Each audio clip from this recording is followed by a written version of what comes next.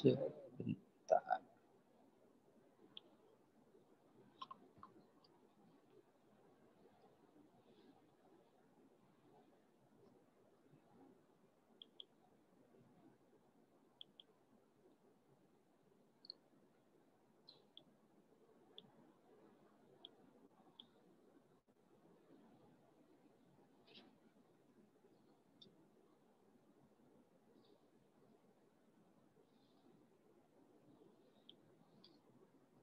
Oke, kita mulai ya. Jadi untuk pertemuan kali ini kita mulai masuk ke jaringan semantik. Oke, jadi sebelumnya itu dulu?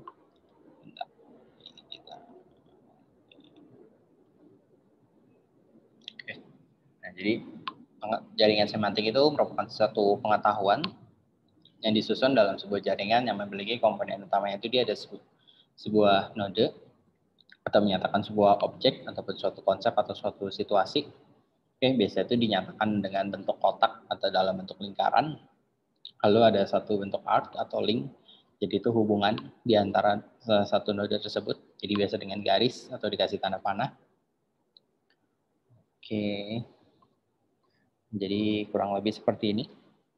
Jadi ini kita lihat kalau di sini ada misalnya objeknya itu hewan Nah, dia merupakan uh, bisa sebuah turunan, bisa juga suatu hubungan. Oke, jadi misalnya di sini hewan ini memiliki subkelasnya itu ada reptil sama mamalia gitu kan. Terus misalnya mamalia memiliki bagian kepala gitu kan. Si mamalia ini memiliki beberapa kelas lagi gitu. Misalnya kelas subkelasnya itu adalah gajah. Nah, di sini gajah punya beberapa atribut, misalnya ukurannya, instannya, apa mempunyai warna gitu kan ukuran warna terus juga si gajah ini merupakan instan dari si uh, Clyde sama si Boni gitu. Misalnya si Wi dua tipe namanya ini ya. Misalnya berarti si Boni ini menyukai apel lah. Jadi ini gimana cara kita menggambarkan suatu apa ya, suatu objek gitu kan ke dalam bentuk penggambaran jaringan semantik oke? Okay? nah jadi sini kita bisa mendeskripsikan bagian-bagian dari hewan tersebut, mau itu apa bagian tubuhnya, mau itu ukuran atau maupun ke apa suatu hal yang dimiliki pada objek tersebut. Oke, nah ini contoh lainnya. Misalnya kita mau objek dari apa ya ini berarti kumpulan dari sesuatu di komplek perumahan kalian gitu. Kalian mau tahu misalnya merupakan si Bill, merupakan suami dari si An, jangan kebalik ya, Bill merupakan istri dari si An. Oke, jadi si An merupakan istri dari Bill gitu kan. Si Bill merupakan ayah dari Susi. Si An, oke, okay. kan si Susi punya eh, si Susi merupakan istri dari si Tom, si Tom juga punya. Berarti ini hubungan, sorry, ini berarti hubungan dari keluarga ya. Jadi si Susi punya ayah, eh punya orang tua si An sama si Bill. Itu juga dengan si Tom, dia punya orang tua Carol and Dave, si John punya ayahnya si Susi dan si Tom, sedangkan dia punya kakek neneknya itu si An, Bill, Carol, and si Dave. Nah ini merupakan suatu bentuk jaringan semantik yang kita gambarkan misalnya dari hubungan dari silsilah keluarganya dari si John. Oke, nah. Ini contoh lagi. Jadi misalnya ini kita mau apa representasi dari kehidupan seseorang gitu. Misal si Joe dia pergi ke sekolah, jadi si Joe merupakan anak dari si Sam gitu kan. Si Sam mempunyai mobil, si Sam ini merupakan seorang pres pres presiden gitu kan dia bekerja di mana. Jadi kita bisa menggambarkan juga beberapa uh, apa ya, kebutuhan tergantung ya. Berarti kita setelah mengamati objek, kita juga bisa menggambar kebutuhan yang mau kita amati dari si objek tersebut. Atau kita mau ambil bahwa si objek ini mungkin kita bisa lihat bahwa si Jo ini kebutuhannya luas gitu kan. Dia nggak cuma ke sekolah gitu, dia bisa aja kalau malam itu dia pergi tidur, kalau siang mungkin dia pergi les atau pergi bermain. Tapi kita batasin gitu bahwa si Jo ini hanya untuk pergi ke sekolah aja gitu apa. Jadi kita juga perlu uh, apa ya tahu batasan bahwa objek ini yang mau kita ambil properti dari si objek ini ataupun hal yang mau kita amati dari si objek ini itu apa. Oke. Nah, contohnya di sini misalnya adalah suatu burung gitu. Jadi kita tahu bahwa kenari itu adalah sebuah burung gitu kan. Dan burung itu memiliki sayap dan cara burung ber, dan cara burung berpindah tepat itu adalah dengan terbang, oke. Jadi kita dari jaringan semantik sederhana ini kita mau lakukan perluasan gitu kan. Nah, jadi kita lakukan penambahan pertama objek yang sama. Oke, jadi kita mau tambahin burung penguin nih ke dalam jaringan semantik ke si kenari tadi. Oke, nah lalu kita tambahin juga objek yang lebih khusus yaitu ada uh, node Tweety. Oke, jadi dia lebih khusus dari kenari. Oke, dan ini juga menambahkan informasi bahwa Tweety itu termasuk burung. Oke, yang ketiga itu misalnya kita mau tambahin objek yang lebih umum. Misalnya hewan. Ditambahkan not hewan yang merupakan bentuk lebih umum dari burung. Oke. Nah, jadi ini bentuknya. Jadi si Tweety dia adalah jenisnya juga sama, burung kenari. Nah, terus kita mau tambahin penguin kan. Nah, oke, tapi berarti kan penguin di sini dia adalah burung, oke. Nah, si sayap lalu si burung adalah hewan gitu kan. Terus kita ada properti lagi misalnya hewan itu bernapas dengan udara. Kira-kira mana oke jadi untuk jaringan yang udah dibuat pun bisa kita perluas tergantung gimana situasinya nanti. Oke nah operasi. Oke nah, sekarang gimana cara kita bertanya gitu kan kepada noda tersebut? Gimana bisa kita bertanya cara burung berpindah tempat gitu. Misalnya jawabannya adalah terbang, oke. Okay? Nah, untuk menjawab tersebut kita harus okay, melihat pada bagian labeling yaitu contohnya tadi ke berbagian berpindah tempat, oke. Okay? Berpindah tempat ya salah adalah terbang. Oke, okay, nah. Oke.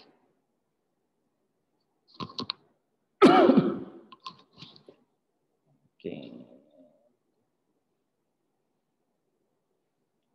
Kasus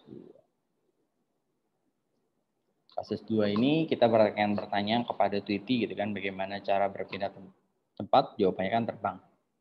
Jika Noda tidak menemukan jawaban pada link, maka dia akan melihat link lain yang memiliki hubungan.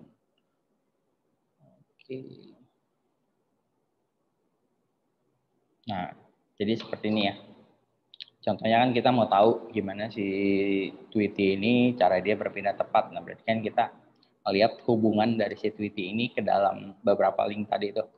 Jadi kita tahu bahwa Tweety ini merupakan burung kenari, tapi kita belum dapat informasi gimana sih Tweety ini cara berpindah tempat. Nah, kita tahu bahwa kenari itu adalah burung, tapi kita masih tetap belum tahu sih bagaimana cara dia berpindah tepat. Nah, dari sini kita baru tahu bahwa burung itu berpindah tepatnya itu dengan cara terbang. Nah, dari sini kita baru bisa ambil kesimpulan bahwa si Tweety ini cara berpindah tepatnya adalah dengan terbang. Oke baru disampaikan ke dalam si user bahwa kita tahu si Tweety ini cara berpindah tepatnya adalah dengan terbang. Nah, jika kita bertanya gitu kan, gimana cara penguin berpindah tempat? Oke, nah, misalnya kalau secara jaringan tadi, mana ya? Oke, di sini berarti kan kita tahu dong, kalau kita mau tarik seperti tadi, gimana cara penguin berpindah tempat? Berarti kan di sini kita tarik bahwa penguin adalah burung, gitu kan? Dan burung berpindah tempatnya itu adalah dengan terbang. Tapi kan ini nggak sesuai fakta nih. Emang penguin bisa terbang, gitu kan? Bahwa kita tahu penguin kan nggak bisa terbang nih. Jadi kan kita tahu bahwa jaringan semantik ini memiliki informasi yang salah nih. Atau ketika untuk dalam case penguin, informasi yang diberikan apa kurang kurang tepat nih bahwa yang benar itu cara penguin berpindah tepat itu adalah dia dengan berjalan, oke? Okay? Nah, nah jadi di sini kita apa ya, ini namanya satu bentuk overriding oke okay, atau per ini. Jadi kita tahu bahwa tambahin satu satu apa ya satu semantik khusus. Jadi yang bisa saya akses itu hanya dari shipping bin. Jadi ketika shipping bin kita mau tanya gimana cara dia berpindah tepat dia langsung akan mencari uh, hubungan semantik terdekatnya. Nah jadi sebelum dia dapatkan akses ke uh, ke terbang itu ibaratnya dia dari penguin adalah burung dan burung berpindah tempat ke terbang. Jadi kita kasih tahu dulu di awal bahwa cara penguin berpindah tepatnya itu adalah dengan berjalan. Oke. Nah, sampai sini. Ada yang mau nanya? Ada yang mau nanya dulu?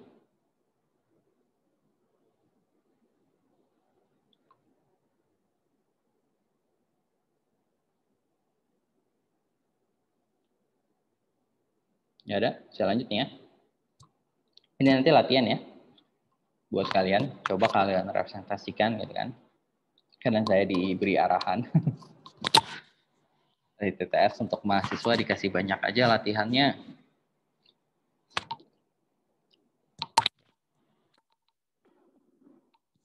Tapi enggak kok, ini buat belajar kalian juga.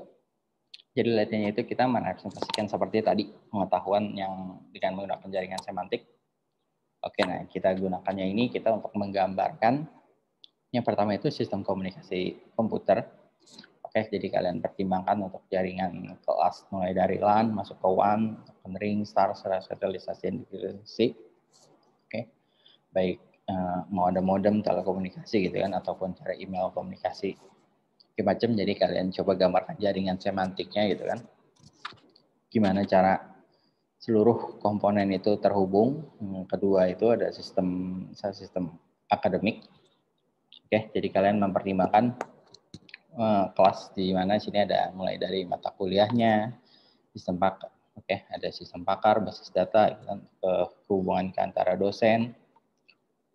Oke, terus di sini ada si ada si Kusri ini, ada Emma, ada mahasiswa gitu kan. Oke, jadi terserah kalian mau dosennya ada berapa. Contoh di sini ada dua, mahasiswanya juga ada dua, tapi kalian bebas mau kalian mau buat sistem semantiknya seperti gimana. Yang penting di situ kalian punya alur flow yang cukup jelas gimana dalam sistem apa sistem sistem akademik tersebut oke dimulai dari berarti dosen mengajar mata kuliah gitu kan mata kuliah di apa, memiliki mahasiswanya siapa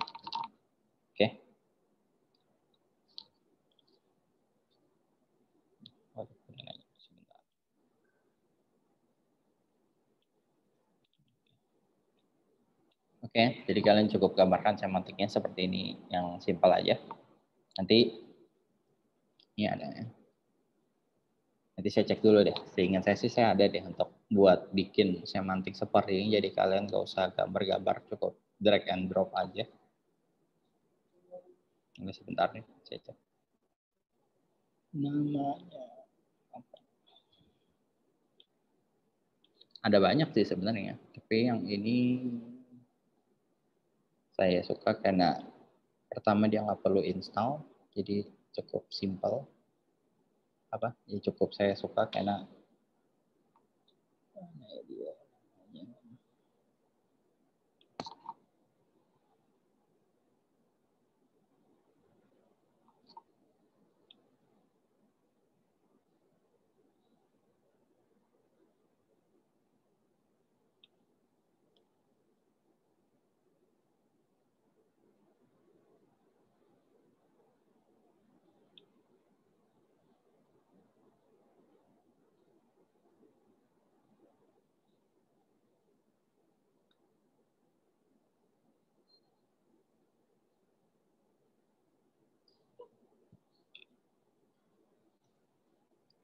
disebutnya.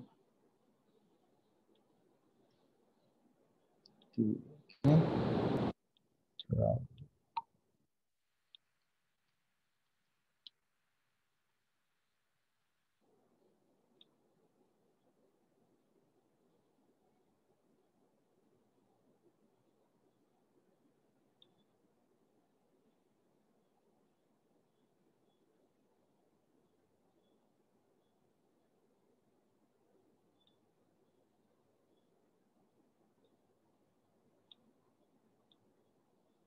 Mm-hmm.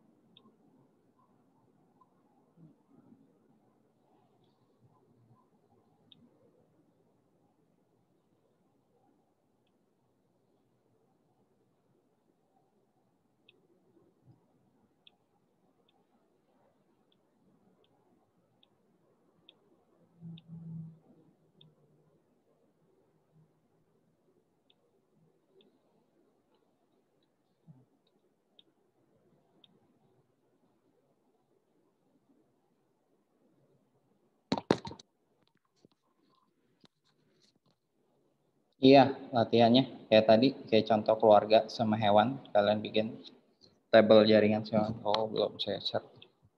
Pantes. Ini ke sini.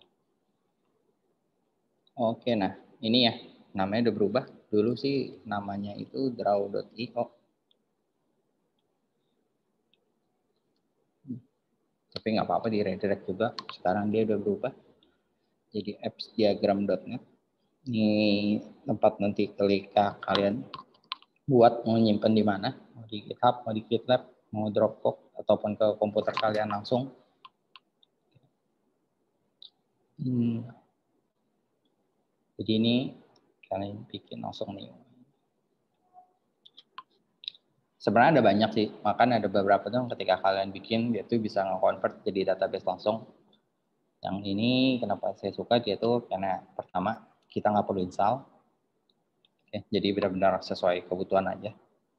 Oke, kalau kalian tipe-tipe yang malas gitu ibaratnya, ah gue pakai juga cuma buat mata kuliah ini doang, setelah lulus sudah nggak dipakai lagi aplikasinya.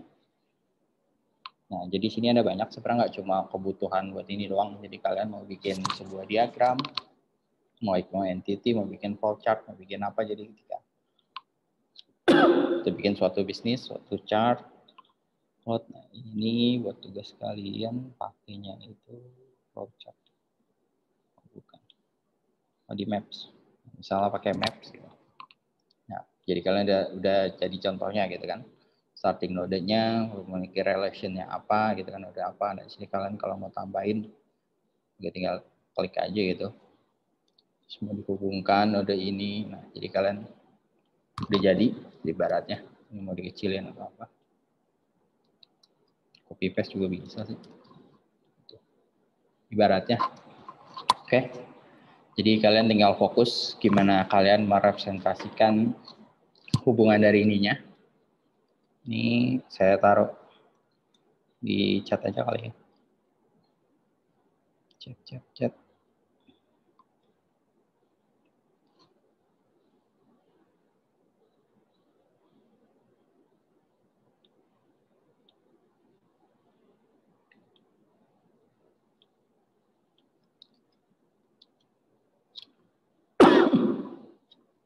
Oke ya, saya taruh di chat ya.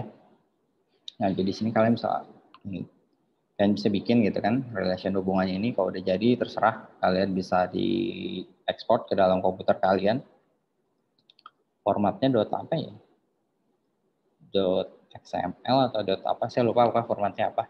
Terserah kalian mau ini atau kalian screenshot pun juga nggak ada masalah.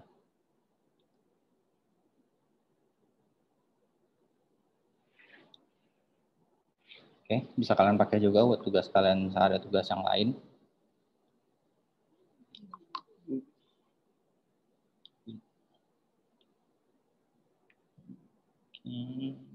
Oke, kita balik lagi materi.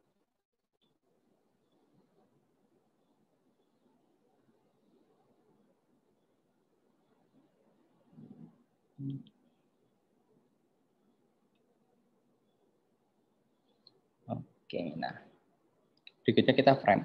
Jadi si semantik ini biasa dilengkapi dengan property gitu kan. Jadi suatu frame itu bisa dibilang menggambarkan uh, sebuah entitas sebagai set atau dari atribut yang lain yang bersesuaian ya.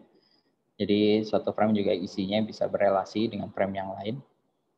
Contoh ya tiga komponen utama dari frame itu pertama nama frame-nya apa, lalu dia punya atributnya apa, Lalu si atributnya itu punya value, value-nya tuh apa gitu kan, atau nilai dari si value-nya tersebut.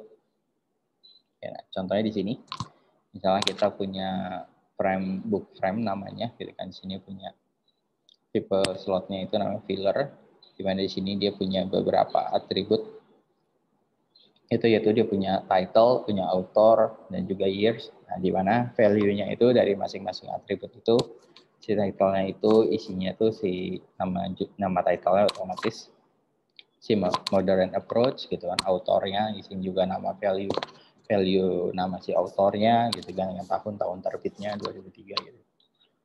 Oke, nah jadi si vector representasi frame ini kita mempunyai dukungan dari nilai yang lebih natural dibanding semantik tadi kan baru berupa gambaran secara kasarnya aja gitu ibaratnya bahwa monyet adalah binatang gitu kan atau kuda adalah binatang. Tapi kan kita perlu tahu misalnya ada beberapa atribut yang lebih spesifik. Misalnya kalau monyet itu berkaki dua sedangkan kalau kuda itu kakinya empat gitu kan. Tapi kalau kita nggak itu mungkin ya menggambar orang itu bisa sama bahwa monyet dan kuda itu kakinya itu sama-sama empat gitu. oke kedua itu otomatis tadi ketika kita penggambarannya udah secara langsung ke objeknya, jadi bisa dengan mudah dia implementasikan dengan konsep object oriented programming. Oke, okay. dan inheritance-nya itu juga kita mudah dikendalikan, jadi secara langsung kita langsung tahu si objek ini turunannya atau secara inheritance-nya itu ke mana gitu kan. Ketika mau ada perubahan atau apa, kita tahu bahwa ini berarti perubahan ke parent-nya atau tidak. Contoh di sini, misalnya ada si hotel room gitu kan si hotel room ini apa misalnya ada suatu ruangan gimana di hotel dan isinya itu kita mau di dalam ruangan hotel itu ada apa. Misalnya ada kursi ada telepon sama tempat tidur. Kita tahu bahwa si kursi ini punya beberapa porsi gitu kan. Namanya apa? Ya di kursi gitu. Saya kita kasih nama lalu dia punya atribut itu namanya tingginya berapa jumlah kakinya berapa itu kan. Dan si phone ini juga punya atribut lain misalnya namanya apa dan billingnya itu si nama tamu gitu juga dengan tempat tidurnya. Nah, sini tempat tidurnya itu adalah tipenya bed, size-nya king, partnya adalah matras. Nah, ternyata matras ini adalah suatu objek lagi nih. Si matras ini itu punya ya di sini cuma punya harga aja gitu. Punya harganya adalah 100 dolar. Oke. Jadi kita dengan mudah gitu. Kita tahu bahwa si matras ini merupakan apa? Turu turunan inheritance dari si kasur gitu kan. Kasur ini juga merupakan bagian dari si hotel room ini ya. Jadi si chair phone sama si bed ini merupakan suatu bagian dari si objek hotel room ini. Oke. Nah contohnya di sini kita bisa memiliki frame. Misalnya ada si di binatang sirkus gitu kan. Subclassnya dia merupakan subclass dari hewan. Habitatnya ada di tenda keahliannya itu keseimbangan di atas bola oke. Okay. nah di mana di sini kita ada si Clyde. Si Clyde ini merupakan instan dari si binatang sirkus gajah. Eh oke. Okay. binatang sirkus dia juga gajah dan memiliki warna pink, pemiliknya adalah Fred. Nah, di mana kita tahu dia merupakan insan dari si binatang sirkus, ya kan berarti dia merupakan sebuah hewan, habitatnya ada di tenda, dan keahliannya itu keseimbangan di atas bola. Dan sementara dia juga merupakan si Clyde ini instan dari si gajah. Nah, kita tahu si gajah ini merupakan subclass dari sebuah sebuah mamalia gitu kan dan dia memiliki belalai, memiliki warna abu-abu, ukurannya besar dan habitatnya di hutan. Nah, jadi ketika ada pertanyaan apakah kalian Clyde, nah, kita akan cek gitu kan di dalam frame si Clyde tadi untuk mencari atribut keahlian. Dan kalau nggak ditemukan, berarti dia akan cari ke turunannya atau inheritance-nya. Misalnya dia cek dulu ke frame binatang sirkus. Nah, ketika ditemukan frame binatang sirkus, dia dapat keahliannya adalah keseimbangan di atas bola. Oke. Okay? Oke. Okay. Sampai sini saya lanjut ya. Ini professional logic. Jadi professional logic ini tambahan dari yang kemarin ya, saya lupa. Jadi si representasi pengetahuan ini adalah menggunakan professional logic. Oke. Jadi di mata kuliah logika kita kemarin, jadi kan di mana professional logic ini ke hubungannya dengan si table kebenaran atau menyatakan pernyataan benar gitu kan true or false. Oke, nah jadi di dalam professional logic ini fakta itu kita lambangkan dengan simbol. Misalnya P ini adalah pernyata, suatu pernyataan apa. Dan kita harus tahu nilainya itu benar atau salah gitu kan. Dan bisa kita hubungkan gitu kan, misalnya pernyataan A dengan pernyataan B secara kondisi misalkan secara N ini nilainya benar atau salah. Nanti kan si professional logic ini ternyata nggak cukup powerful nih untuk merepresentasikan pengetahuan secara general. Oke, jadi kan dia biasa tuh untuk pernyataan yang apa ya, yang udah saklek gitu. Misalnya Budi adalah seorang apa? Nah, kita nggak bisa untuk pernyataan yang lebih umum misalnya jadi ini misalnya jika pertama kan biasa ini semua mahasiswa mengikuti ujian gitu kan negasinya berarti kan tidak tidak semua mahasiswa mengikuti ujian nah, ketika dia di pernyataan yang lebih umum jadi kan jika mahasiswa mengikuti ujian maka ada kemungkinan mahasiswa berhasil atau gagal gitu kan ibaratnya jika ini kita negasikan ya hasilnya sama aja gitu kan Berarti tidak semua mahasiswa yang mengikuti ujian kemungkinan berhasil atau gagal. Pernyataan ini ya bernilai nilainya itu sama gitu ketika dinegasikan ataupun maupun dirubah. Nah, jadi kita di sini butuh predict predicate logic, oke? Okay? Jadi si predict logic ini ya mana itu?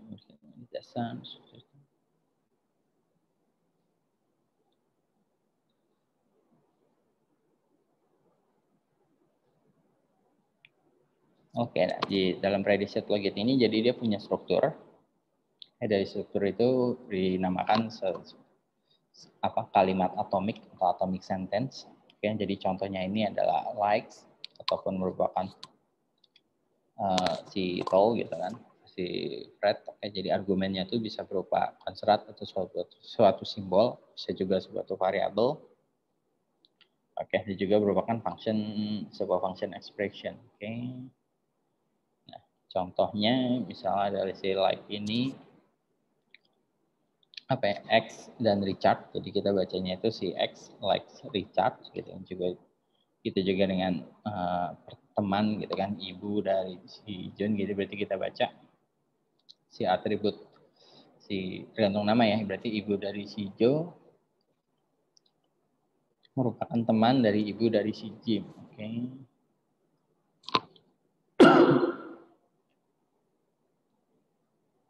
Nah, jadi si kalimat atomik ini jadi bisa kita kombinasikan menjadi suatu bentuk kalimat baru. Oke, nah, contohnya di sini, Dave, si likes John dan Mary gitu kan, dan tanda panah ke atas, berarti kan ini adalah N ya kan, atau Mary, oke. Nah, oke, berarti kan kita tahu bahwa ini sebenarnya pernyataan bahwa si John menyukai Mary dan gitu kan juga Mary oke okay. si kalimat menghubungkan quantify ya. oke okay.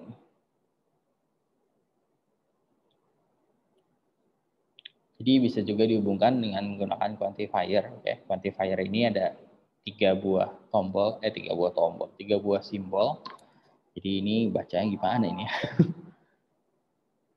y oke okay. jadi ini apa ini y strip atau mata uang yen okay.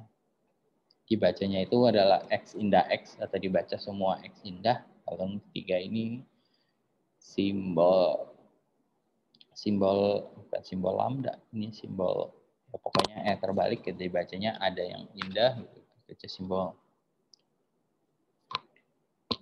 Oke ini ada tiga simbol ini ya. Saya bingung cara bacanya ini apa ini bacanya oke nah suatu kalimat bisa menggunakan beberapa apa quantifier ya. Jadi nggak cukup nggak cuma satu, jadi bisa juga lebih dari satu.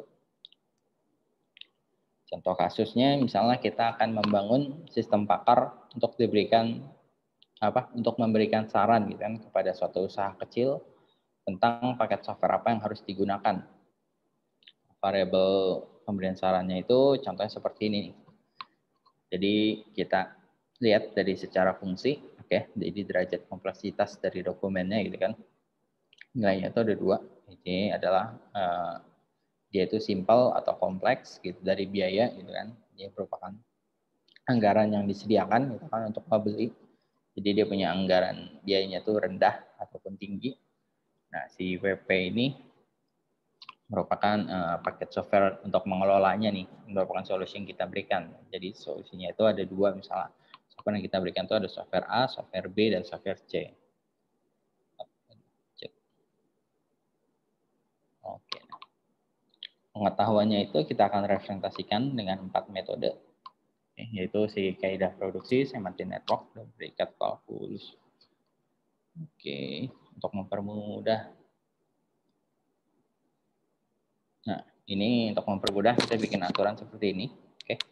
Jadi kalau fungsinya simple, secara biaya juga rendah, kita kasih solusinya A.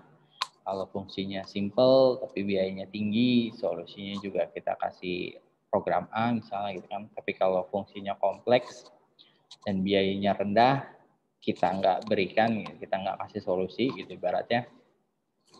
Udah lu mau aplikasinya rumit tapi lo mau harganya rendah oh ya udah gitu. Berarti kita mendingan nggak usah kita kasih aplikasi gitu udah kita biarin aja. Tapi ketika fungsinya dia maunya kompleks dan biayanya juga dia sanggup gitu membayar tinggi ya kita kasih solusi aplikasi itu dia beberapa pilihan gitu mau B atau mau C. Oke? Nah jadi ketika kita buat seperti ini jadi ketika fungsinya simple dia ada dua gitu kan kemungkinan costnya itu bisa rendah atau tinggi Ketika simple, costnya juga rendah, solusinya itu A. Ketika simple, costnya tinggi, solusinya juga tetap A.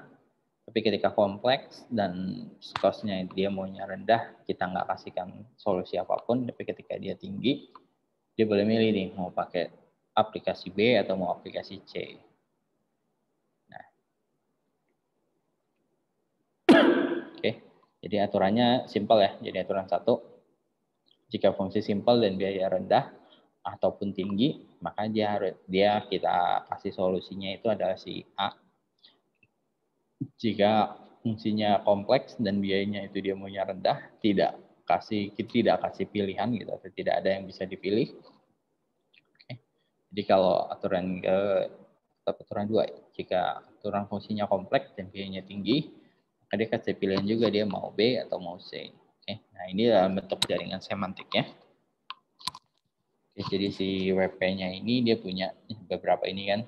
Jadi ada A, jadi si A, si B, si C ini merupakan adalah suatu WP atau suatu solusi di sini. Nah, di mana si WP ini memiliki sebuah biaya, di mana biayanya ini juga memiliki, eh, sorry, biaya ini memiliki eh, suatu solusi, eh, suatu WP ini suatu suatu solusi oke. Okay? di sini biayanya ini ada rendah dan tinggi. Dan juga si WP ini digunakan untuk sesuai fungsinya di mana fungsinya itu ada simple dan kompleks. Ya dan di mana si simple kompleks ini kita uh, kita sesuaikan dengan aturan yang tadi ya. Jika kalau dianya simple ininya juga rendah maka dia akan lari ke A ketika biayanya tinggi lalu si ininya biayanya tinggi, lalu biayanya simpel, maka dia tidak diberikan ke mana-mana gitu. Tapi biayanya tinggi, ininya kompleks, maka bisa dilarikan ke B, bisa juga ke C. Gitu juga nih kan ininya. Ininya simpel dan ini juga kompleks. Sorry, fungsinya simpel tapi biaya juga tinggi, kita bisa larikan juga dengan ke A. Oke, ini bentuk penggambaran semantik jaringan semantiknya. Jadi kalian bisa pakai yang tadi juga. Oke, nah ini kita gambarin suatu bentuk frame-nya gitu kan. Misalnya nama skemanya itu WP gitu kan. Oke, nah di sini kita masukin nih. Fungsinya yaitu dia kita masukin nilai fungsinya sama biayanya itu. Jadi ketika kita masukkan gitu ya, misalnya fungsinya itu simple, biayanya tinggi, maka otomatis uh, nama frame-nya itu akan menghasilkan kita WP-nya itu adalah A, ketika kita masukkan fungsinya adalah simple dan biayanya adalah low, maka WP-nya juga A. Ketika dia kompleksnya tinggi dan biayanya juga apa biaya yang mau dia keluarkan juga tinggi yaitu adalah B, begitu juga dengan dengan C yaitu untuk fungsi yang kompleks dengan biaya yang tinggi itu dengan C oke. Okay? Dan yang kalau yang tidak ada ya udah nggak usah kita buat frame-nya karena kan kita nggak handle itu gitu oke kita nggak tampilin oke nah Ini latihan juga. Ada yang mau nanya dulu nggak sebelum sampai sini? Tempat menit.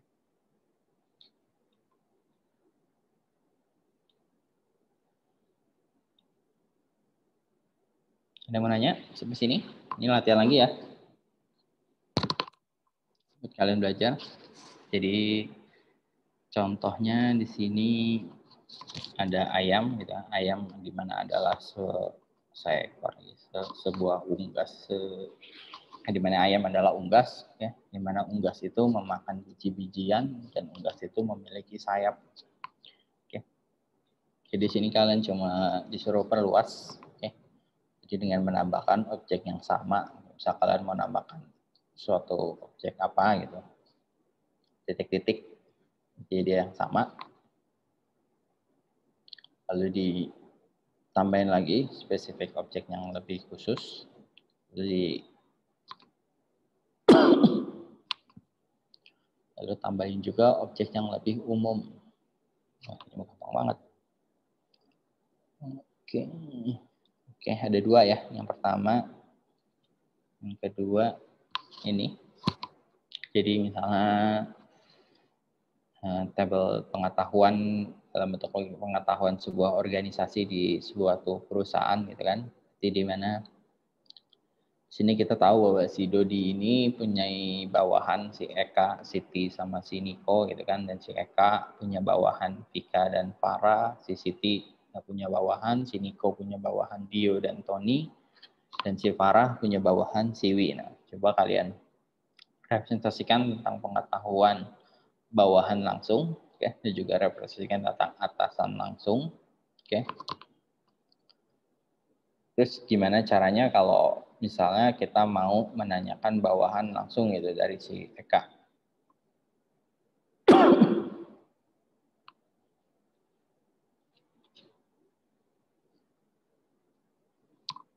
Hmm, udah deh.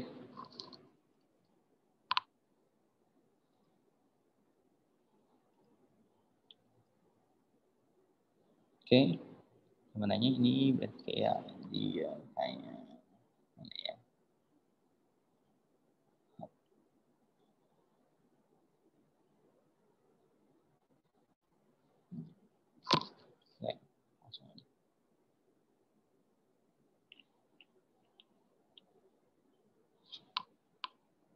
Ini mesti ditambahin bikin framing. Ya, ya, ya. ya.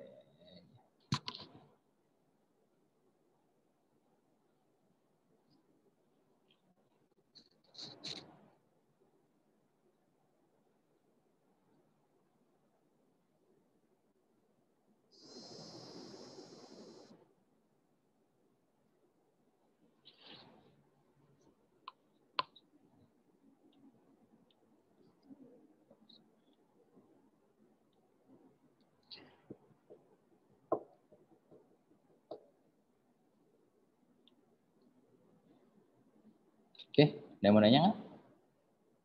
Sebelum kita akhiri pertemuan hari ini.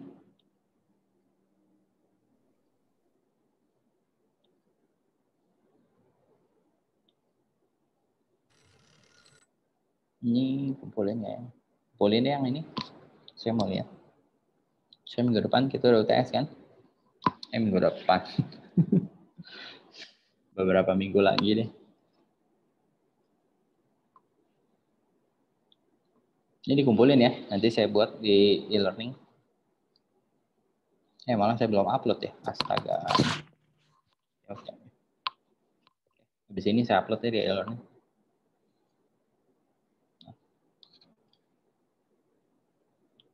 Berarti ada tiga ya latihannya. Yang pertama.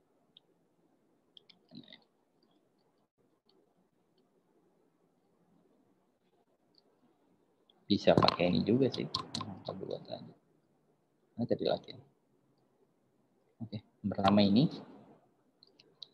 kalian bikin representasikan pengetahuan jaringan semantiknya, oke, persis kayak si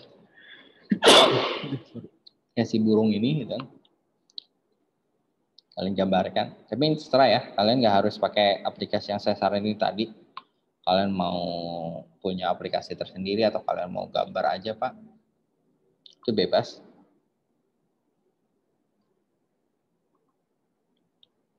Enggak saya batasin gitu harus menggunakan ini. Misal kalau kalian mau menggunakan aplikasi atau apa, di screenshot aja hasilnya, terus di upload ke e-learning biar saya bisa lihat.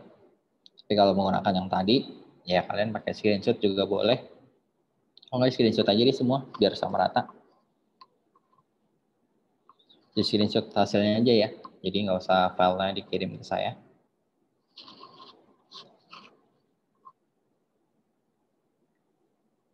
Oke, ya udah.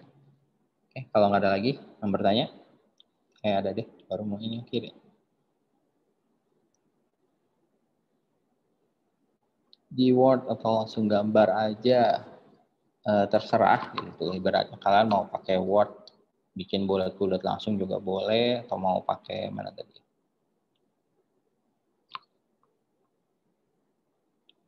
Mau tadi aplikasi yang saya kasih tahu kalian mau bikin di sini juga boleh. Mana yang menurut kalian paling gampang atau paling paling membantu paling mempermudah kalian aja dalam mengerjakannya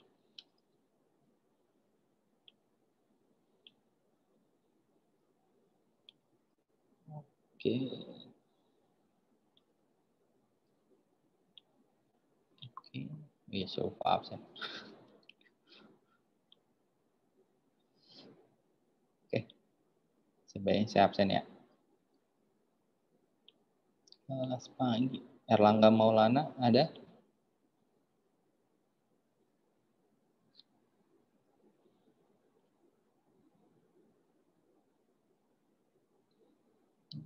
Erlangga, Erlangga.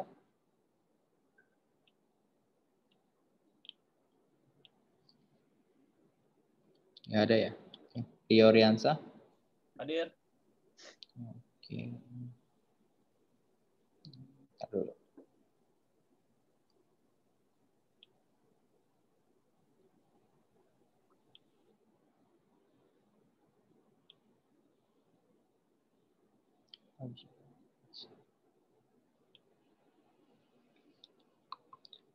Grasberg. Grasberg ada Grasberg? Wah, tidak ada. Tadi kayaknya ada dua belas. Grasberg. Enggak. Kartika Widyadari. Budiman. Muhammad Fahrul. Hadir, Pak. aduh, aduh, aduh. Dia udah batuk baru disebut. Mungkin Kartika perlu yang manggil. Dimas Saiful Aziz.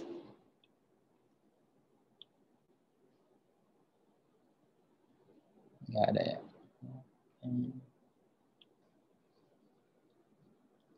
Laude Muhammad. Osama. Hadir, Pak.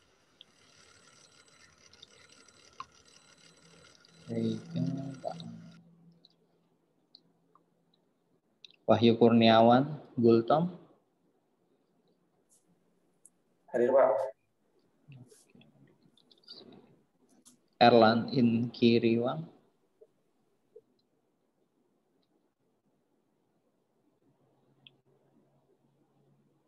Ada Erlan Inkiriwang? Enggak ada ya. Oke. Ada Pak, masuk Zoom. Hah? Itu masuk Zoom ke Erlon, mungkin nggak dengar mungkin Pak. Mana orangnya?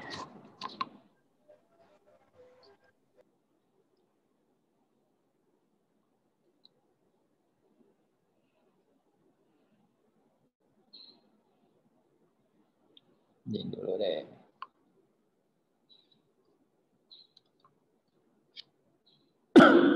Julfa Malika Amana. Hadir, Pak. Hmm, hmm, Aditya Duta Ramadan. Hadir, Pak. Muhammad Reza Pahlevi.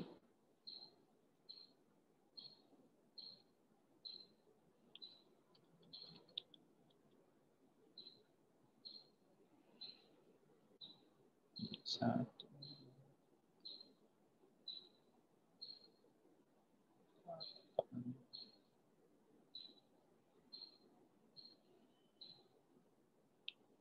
Oke.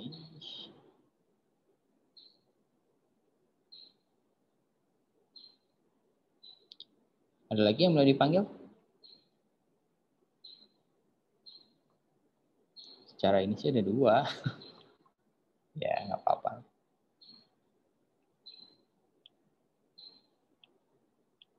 Satu, dua.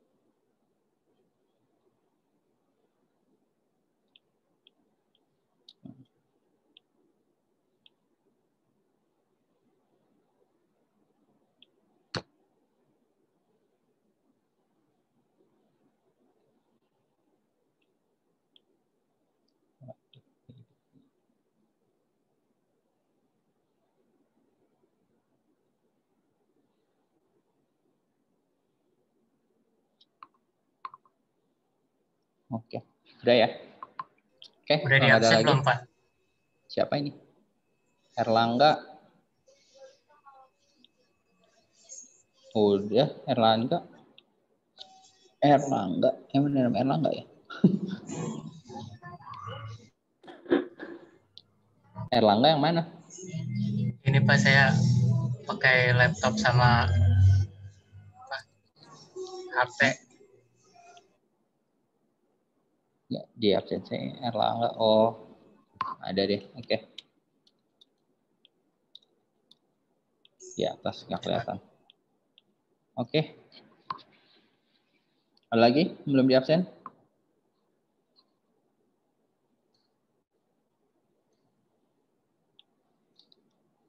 Grasper tadi.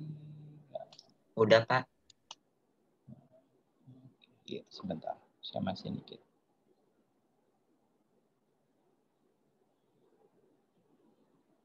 Oke, kalau nggak ada lagi, saya kirim pertemuan hari ini.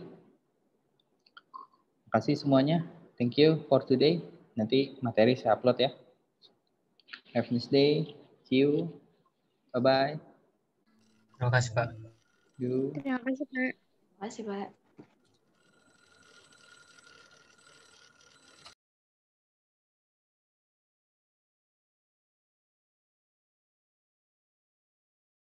Makasih, Pak.